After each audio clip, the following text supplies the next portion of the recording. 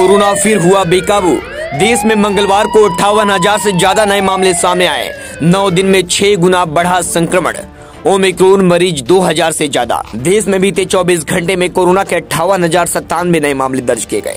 मंगलवार को सैतीस हज़ार तीन सौ अस्सी संक्रमित मिले थे। इसी तरह, पिछले दिन की तुलना में संक्रमण में 55 परसेंट की बढ़ोतरी देखी गई है। देश में 28 दिसंबर को करीब 9000 मामले दर्ज हुए। यानी 9 दिन में ही संक्रमितों की कुल संख्या छह गुनी बढ़ गई है। मंगलवार को देश में पंद्रह हज़ार से ज़्यादा कोरोना के मरीज़ रिकवर हुए। ठीक होने वाली मरीजों की संख्या तीन करोड़ से ज़्यादा है। वहीं बीते दिन पाँच संक्रमितों की मौत हो गई, यानी 24 घंटे में 500 से ज़्यादा लोगों की मौत हो गई है। वहीं अभी आपको बता दें, दो लाख से ज़्यादा मरीज़ हैं, जिनका अस्पतालों में इलाज जारी है। वहीं आपको बता दें, लगातार 500 से ज़्यादा मौतें दर्ज की जा रही हैं भारत में।